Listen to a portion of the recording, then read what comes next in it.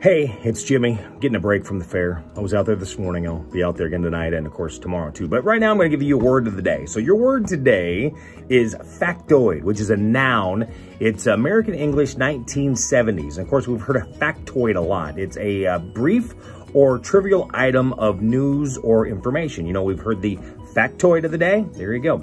A assumption or speculation that is reported and repeated so often that it becomes accepted as fact. Hmm. A factoid can be false unless you say it enough and then it's fact. There you go. You just never know what's going to happen. Fact of the day. Well, word of the day is factoid.